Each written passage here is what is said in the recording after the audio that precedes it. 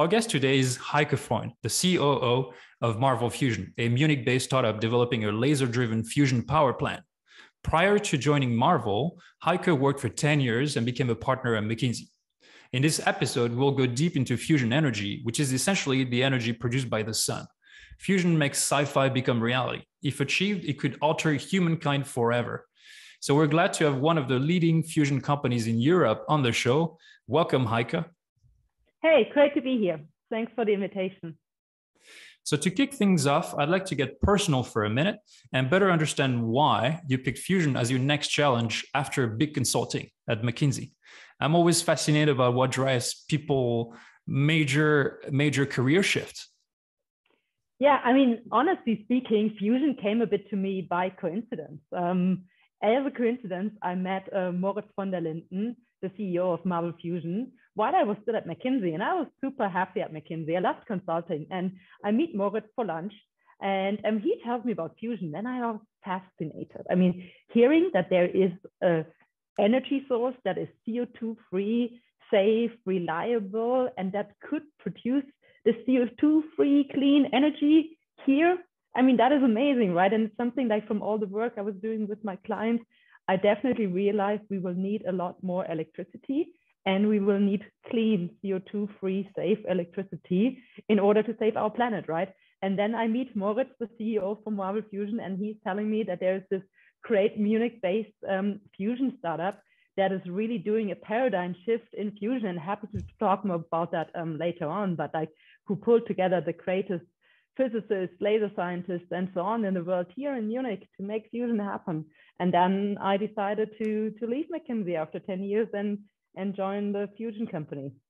That is a big leap. And as you explained, fusion is considered often as the holy grail of energy. And I would love to know briefly why it would be a game changer in solving the world's energy crisis. Yeah, I mean, the basic principle of fusion is easy. You fuse two nuclei, and when they fuse, they release huge amounts of energy. Now, um, the downside is that in the past, it didn't work. And they're like the more traditional approaches to fusion try to leverage huge magnets, long times, high temperatures. And that is something that science has been looking into for quite an amount of years. And at Marvel Fusion, we took a step back, leveraging latest insights from different um, technologies. So we are leveraging latest insights from the laser industry. We are utilizing ultra short pulse, highly intense laser pulses that shoot on nanostructured fuel pellets and actually start the uh, fusion reaction by depositing the energy from the laser in the fuel pellet, then starting the fusion reaction, and then creating heat and charged particles, which can then be translated into energy. So that is the basic principle of fusion. And that is what we are doing at Marvel Fusion. Okay. And could you paint us, just uh, taking a step back, you know, um, we're talking about the societal change here. Could you paint us a, a picture of the world that runs on nuclear fusion? For example, how could you change transportation, food production, manufacturing, or even space travel? Yeah, the world yeah, yeah, is going to totally. be. Let, us start with the world, maybe. So, starting with the world, um, fusion could produce um, CO2 free, clean, safe energy on a very small amount of, of, of land. So, with the size of a football field, um, you could produce one gigawatt of power. That is comparable to some of the large power plants that we have out there currently. So, you could produce energy where you need it. You can produce it next to an industrial plant, you can produce it next to a big city. You don't need a lot of space. So, um, you can really produce it where you want it you are not dependent on wind, water, the sun, and so on. You have a 24 7 base load energy source. So that can dramatically change the world because you need less space to produce the energy. You, um, you don't um, create any CO2. Um, which I mean, we could talk like the whole episode about the impact that like not having any more CO2 produced has, and um, and it is um, clean. So the, the the the the, big um, advantage of nuclear fusion, the way we do it, is that you don't create any long-lived uh, waste and you don't have um, any uh, possibilities of a chain reaction. So it's totally safe and you don't create um, long-lived waste. And now if we then change the world and made the world an amazing place to live in, uh, fusion could also serve, serve as um, a space propulsion. So it could really give you the option to have um, interplanetary um, uh, travel.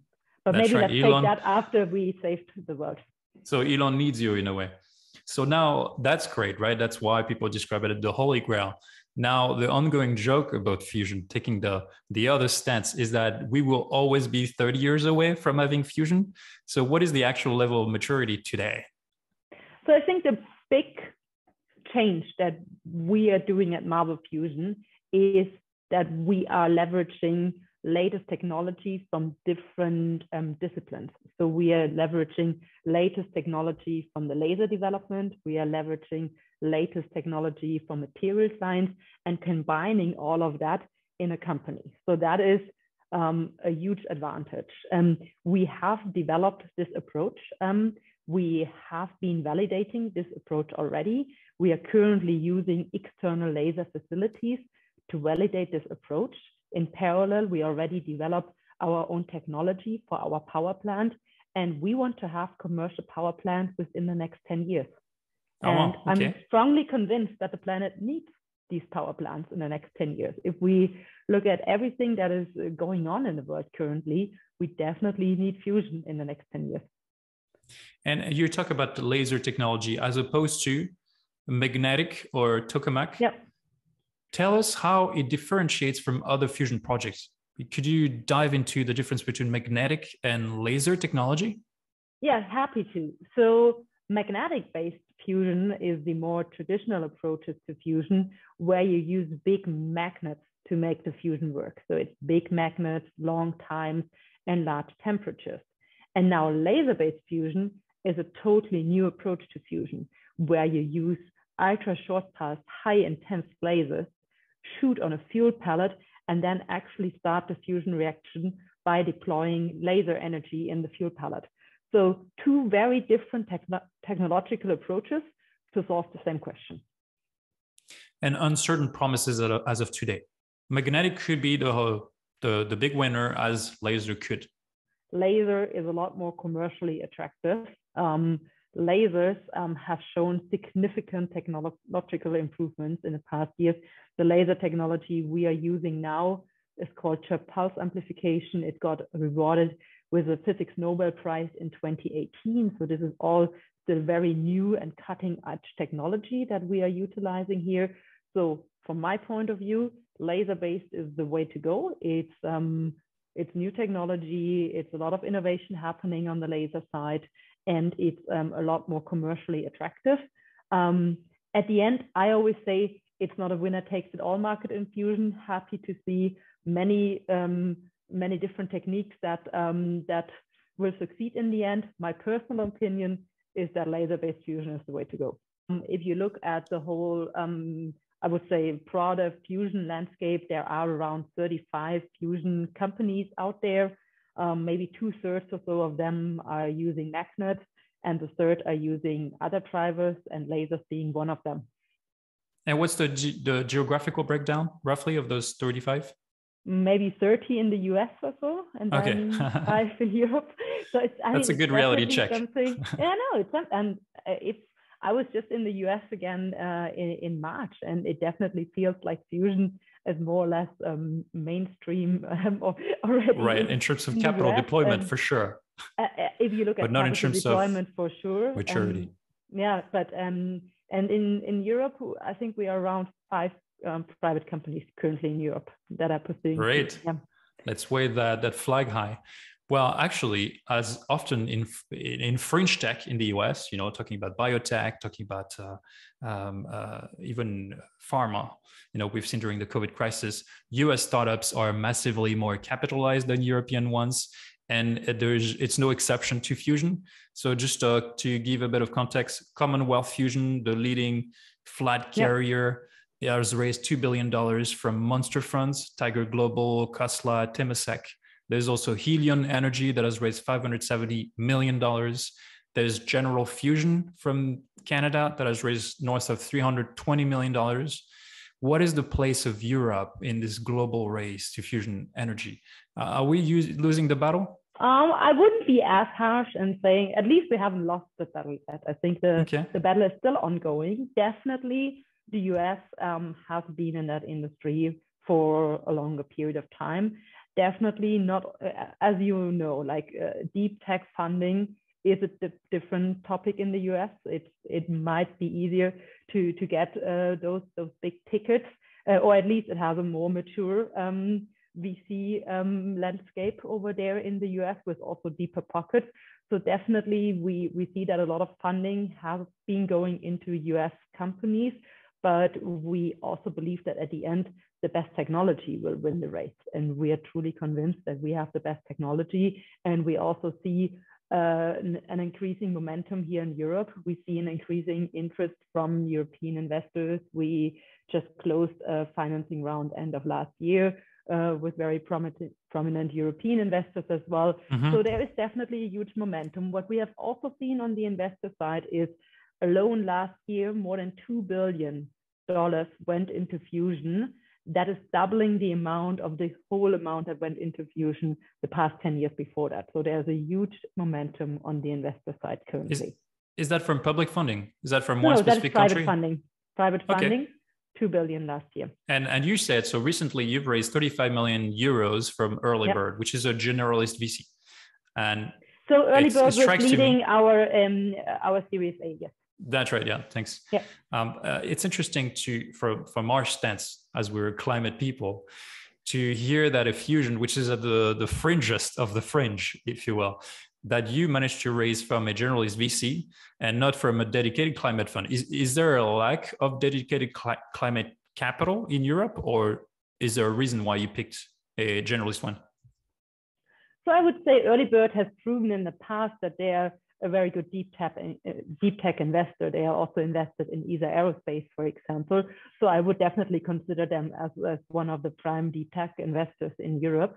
And I also see more and more climate funds um, being announced. I mean, currently it's like every morning that I open the news, uh, I hear of a new um, climate fund um, being announced either by the big PEs and so on. So I think the momentum That's is right. definitely there. There's certainly a, a lot of PE or large growth funds and billions being poured. We don't really know as insiders whether that is being deployed yet or is it you know to buy uh, tesla shares or uh, northvolt gigafactories we don't see that capital flowing into startups, you know, very early stage yet.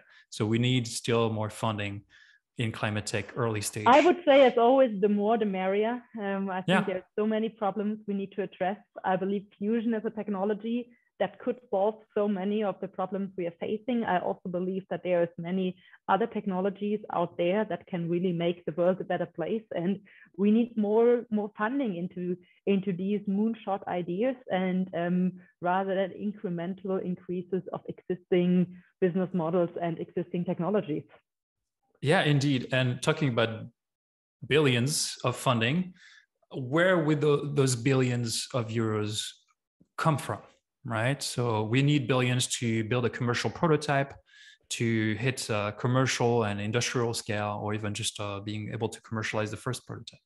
Uh, is it mainly going to come from governments or states? When do you think they will step in with big money? So I mean, I'm I'm the wrong one to answer that question, right? You need to ask that question to a politician. But in my point of view, it should always be a fair mix of public money, private money, uh, money coming from, from from different pockets, right? But I would definitely also see that um, um, yeah, the states and politics should have a high interest in in in pushing topics like fusion and other other moonshot ideas.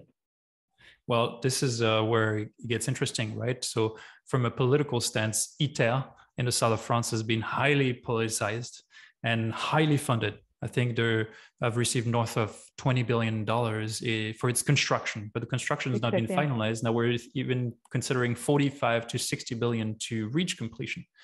So it strikes to me that fusion could be a a drain. Why we might dig, dig, dig into a bigger hole, but we, without really necessarily reaching the breakthrough that we expect from such a project. Meanwhile, there are startups or even uh, research labs like the UK based JET lab, uh, which has done more breakthroughs than ITER.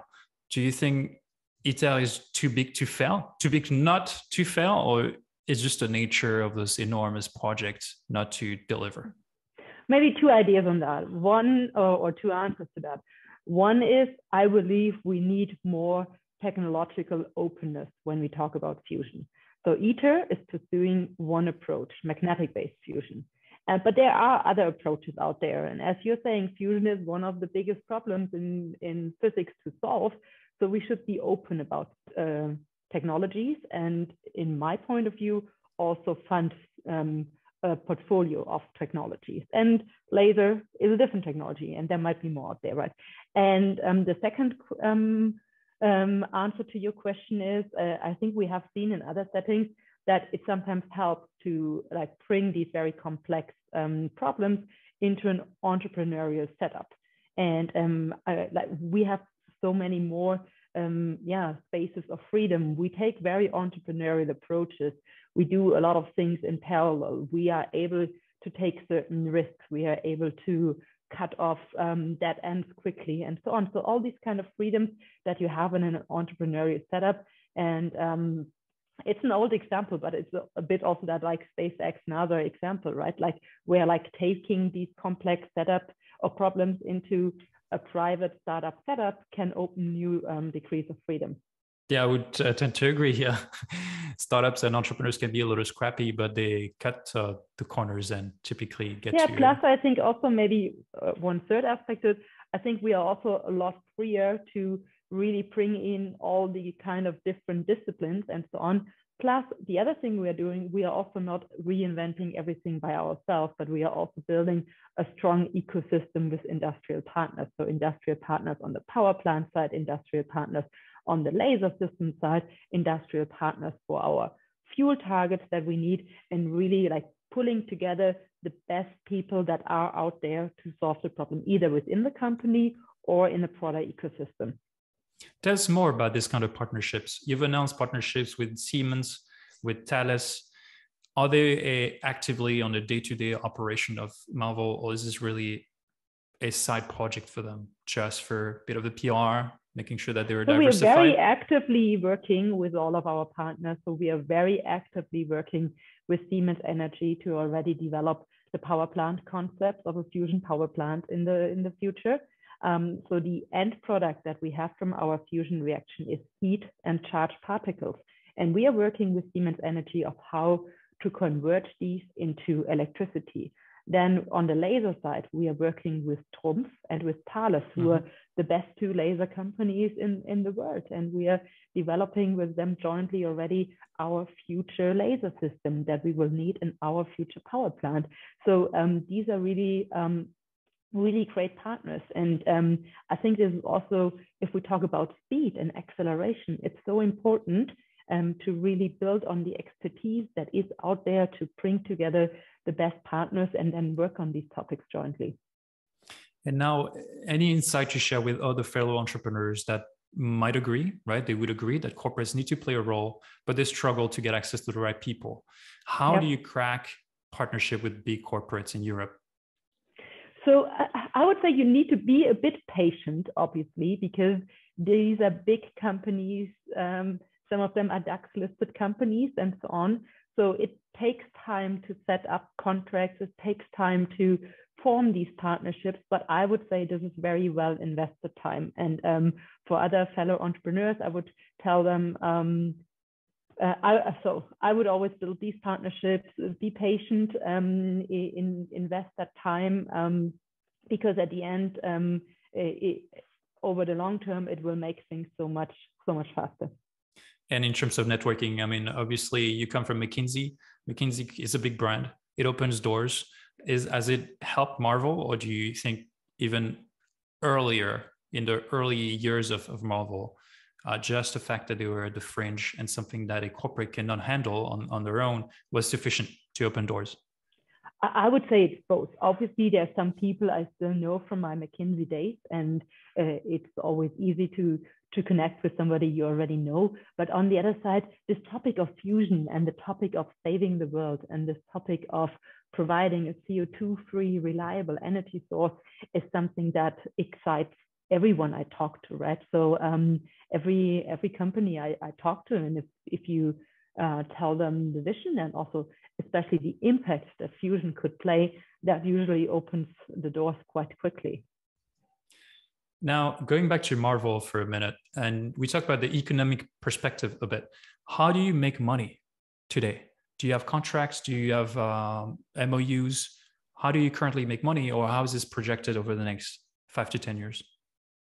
Currently we don't make any money right? Because i think that is a bit the the profile of a deep tech company right? It's a bit the same as you have in biotech. It's the same as you have in in many of these deep tech um, uh, endeavors where for the first years you're not making any money um, and that is why you need funding to um, to push forward these um, um, these um, these these endeavors and then later on it's definitely part of our business model to uh, eventually then um, then have fusion power plants, right? But um, that will take some time, and we are obviously also looking at options for early revenue generation. So seeing is there technology development that you can commercialize already earlier on in the process. Um, however, that is also something that is always a fine line between like how much do you want to dilute in some term your core product, how much speed do you do you um, might may you lose on the way to your north star? So um, so that's something that always needs to be very carefully assessed. Have you observed that heavily capitalized startups in the us have not really spent time looking at the commercialization of it making money? No i wouldn't or... say so. I think that is something like i see like when talking to other fusion companies in the us and um, i think it's something where everybody is looking at okay, what might be options for early revenue generation? How much does it really um, speed up the um, the or, how much speed might you lose in between on the other side? Yeah, so I think this is something that every every company that I talk to in the fusion space is looking at. Now, for people that dream of working in fusion, yeah. now that you've raised capital, what roles do you have available at Marvel, and where do you advise people to knock at, be it at Marvel or other fusion startups in Europe? Yeah, I mean, obviously, if you want to work in fusion, Marvel is the number one to go to because I strongly believe that we have developed the approach that that will lead to commercial fusion power plants. And within Marvel, we have a great team of theoretical physicists, experimental physicists, um, laser scientists, engineers, but also in the in the corporate areas, we have um, because I, I always feel like this also needs to go hand in hand with having also we have a strong legal department we have strong IT department and so on. So I would say basically there's all roles um, that um, mm, that you could imagine um, are within Marvel Fusion. And people should just go on our website. We are also always looking for um, for even so even if there is uh, not that position posted that somebody might be looking out for, there's always a contact that you can reach out to, and um, maybe there's an option. Yeah. Now, going back a bit more personal for a minute, I have always been fond of fusion. Fusion is, uh, again, science fiction. And I'm trying to, as an investor, to look at it from a real eye, to get a bit of a reality check. And you also come from McKinsey, right? So you um, look at stats, you want traction, you want real numbers what has since you joined marvel been one of those the most important surprises or unexpected events that you've uh, encountered since you you joined the company? Um, i would say surprises on a on the positive side is definitely how fast things can move if you put the best people together in a room right? Um, seeing how how one idea can lead to the next idea and see how how these things can evolve that is is simply amazing. Um, i think uh, what came as a surprise rather on the um, maybe or things that i would have hoped for that work faster is really um, yeah negotiation with laser facilities um, existing facilities where we're trying to book time to do experiments, being that in Europe and being that in the US. Um, that is something um, where, uh, yeah, I mean, we would love to do more experiments and get more access to uh, existing facilities. We now managed to secure three new um, slots for this year, and a slot is always like a month long campaign. So that is amazing. Um, but that is always um, hard work to get these. Do you never lose sleep at night thinking oh, we might have uh, missed that that turn or or made the wrong decision? Yeah, but I think at the end it's also all about risk taking, right? And it's all about like fail early, right? Like whenever there's a new idea, like trying to find an option where we can test out that idea, trying to find an experimental setup where we can test new ideas, because at the end, and you know that as well from your past, right? Like fail early is so important. Um, spending the money, then knowing whether something works or doesn't work is so much so much better than than not having that. Um, yeah. Failing early, that is the key of startups. Now, yeah. talking about failing, I'm going to enter the rapid fire round where you cannot fail. There's no right or wrong. You know the principle. I'm going to ask a very simple question with two options, and you can answer briefly in one sentence. Are you ready? Hope so.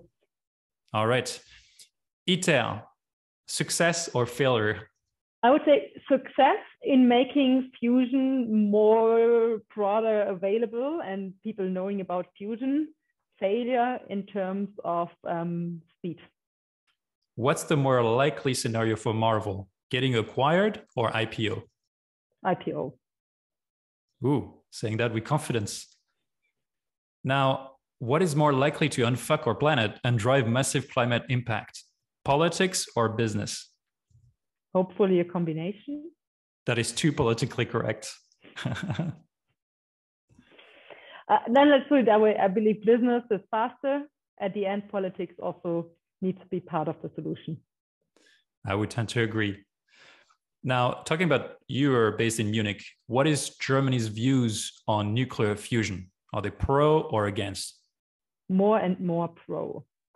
And, and to note that there's a, a, huge difference from a risk profile between fission and fusion, obviously. Exactly, you... because maybe just to round that up, fusion does not have the harm of chain reaction and does not produce any long-lived nuclear waste. So at the end, it's really two very, very different things that unfortunately sound very similar. Monopoly or open sourcing? Would you rather build the next enormous fusion monopoly, think the Google of fusion, or share all the knowledge from Marvel for local champions to emerge and replicate? Think about you've cracked it, you had a recipe, now you're spreading it so that every country that has its intricacies, specificities, can just quickly pick up the baton and run with their own solution? So I would say, given that um, we already um, built this ecosystem, we are definitely not in a monopoly situation, but rather like having this ecosystem of partners that can also then help to scale it quickly around the world. All right. Now, just to wrap things up, a cool carve out. I'd like to leave people, the audience, with some some takeaways. So if you guys want to dig deeper into the world of fusion, I suggest listening to TIL. It's a Today I Learned Climate podcast from MIT on fusion energy, which goes really deep in everything fusion. We'll link everything in the show notes, and we'll also add all the startup working in fusion to date. Heike mentioned 35, roughly 30 in the US. It's very important list to have. Hopefully, that will give ideas to more players in Europe and they can partner with Marvel. And any parting thoughts from you, Heike? Anything you would like to leave as important insight to our audience working in Fusion or um, looking at it with interest? I would say, first of all, thanks, John, for um, bringing Fusion into your podcast. I believe a lot more people should know about Fusion, should know that it's not 30 years out, but that if we put the right efforts into it now, we can have a solution within the next 10 years. I believe it's truly important to have fusion and um, uh, yeah, and fusion will definitely play, play a major role in the energy mix of the future if we want to achieve our 1.5 degree goal and and so on. So um, thanks for for providing a platform for fusion. And yeah, as you said, people who are interested in fusion, I believe there's lots of material out there. You can also go to our website. Uh, we put a lot of um, information on fusion also on our website. And if you're then interested, reach out on LinkedIn or through our website. And um, yeah, very happy to to get in touch with you. Thanks so much, Heike, for this delightful conversation on fusion. I'll definitely link everything for people to get in touch. Lovely speaking with you. Thanks, John. Take care. Bye bye.